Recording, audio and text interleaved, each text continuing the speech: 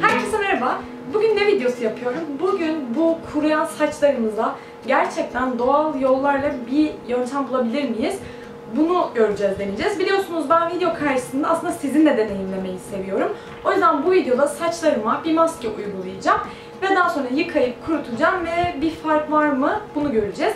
Saçlarım gerçekten çok kuru benim. Normalde zaten yapısı çok kuru. Fakat yaz mevsimi geldiği zaman sadece bir kere denize gittim henüz.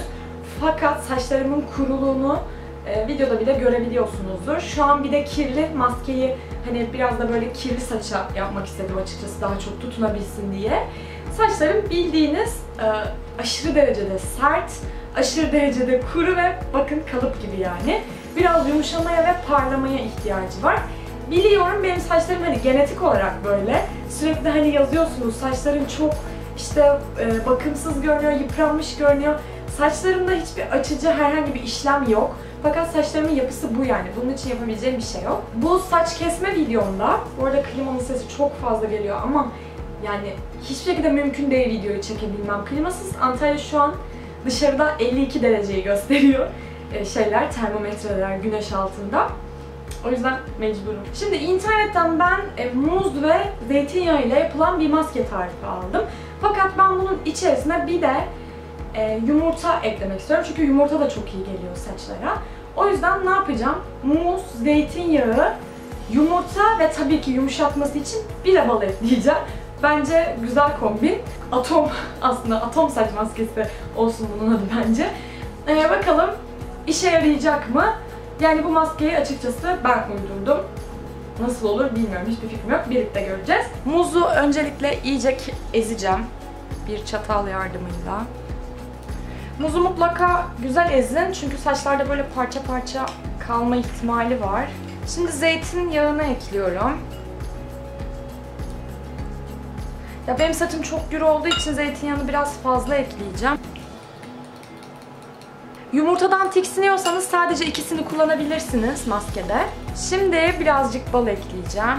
Bir yemek kaşığı kadar falan oluyor bu bal. Ve yumurtayı ekliyorum. Karıştırıyorum. Ve şöyle bir kıvamı oldu. Bu arada üzerime hani e, eski bir tişört giydim ki batar, yağ lekesi çıkmaz vesaire öyle bir problem yaşamayayım. Siz de öyle yapın. Ve maskeyi uyguluyorum.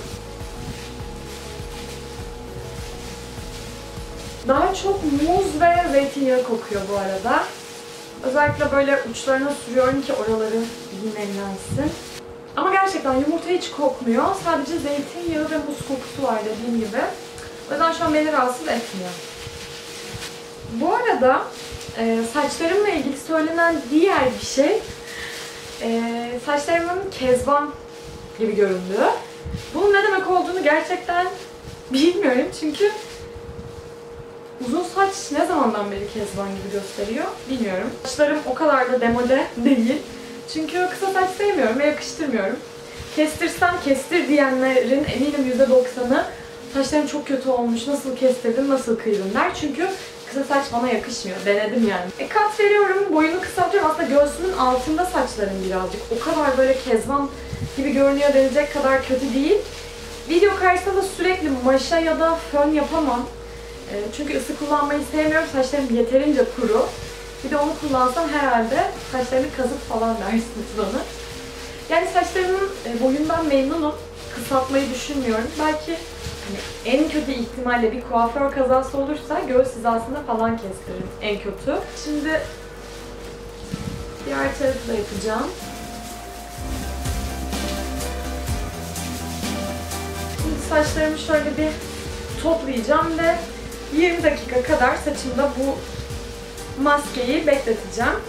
20 dakika sonra saçlarımı yıkayıp geleceğim ve bir fark var mı gerçekten hep birlikte öğreneceğiz. 20 minutes later. One hour later.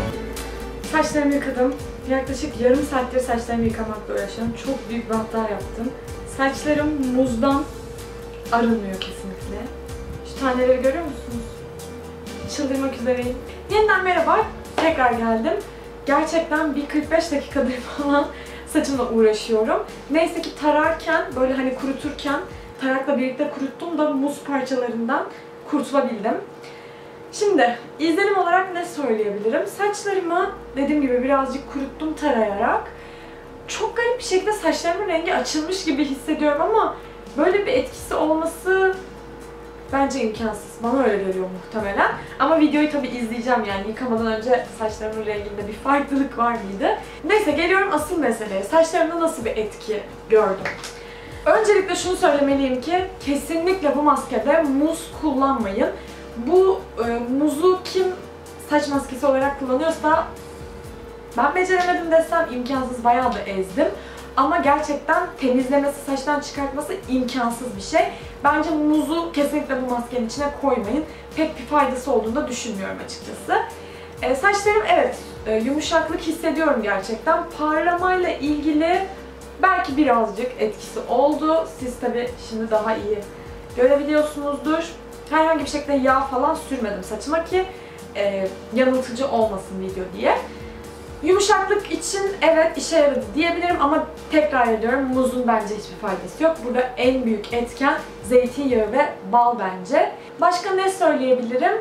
Ee, koku falan kalmadı saçımda. İyi şampuanlarsanız güzel bir şekilde kurtuluyorsunuz aslında. Size ne önerebilirim? Bence bu maskeyi kesinlikle zeytinyağı ve balla yapın. Hatta tek başına zeytinyağıyla yapıp saç diplerinize de masaj yaparsanız hem beslenmesi açısından, saçın sağlıklı uzaması açısından da faydalı olacak.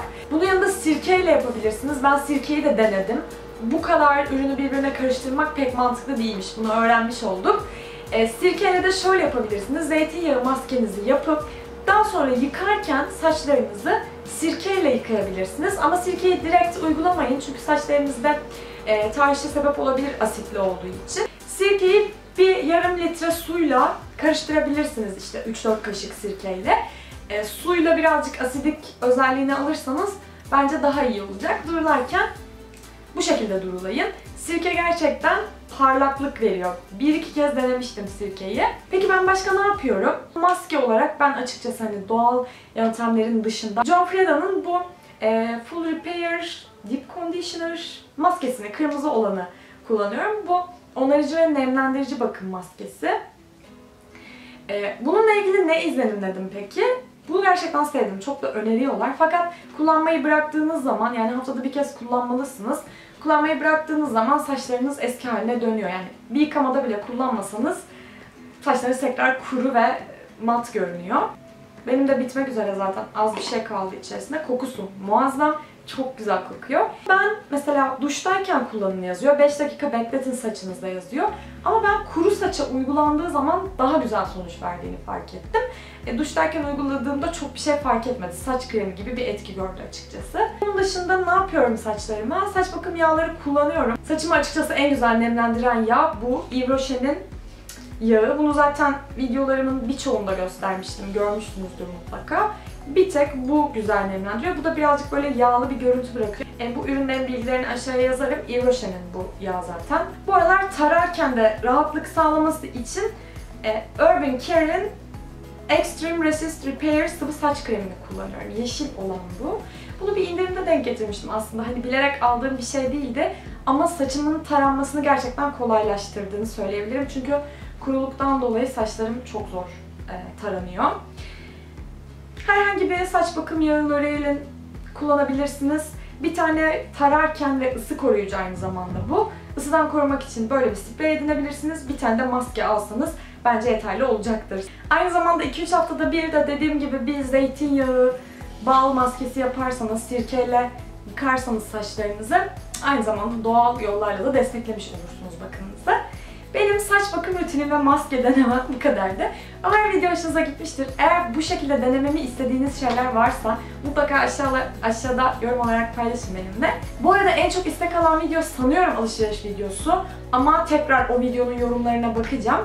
Siz de en çok hangi videoyu çekmemi istiyorsanız şuradan tıklayarak o videoya ulaşıp aşağıya yorum bırakabilirsiniz. Lütfen videoyu beğendiyseniz beğen butonuna tıklamayı unutmayın. Bir sonraki videoda yeniden görüşürüz. Hoşçakalın.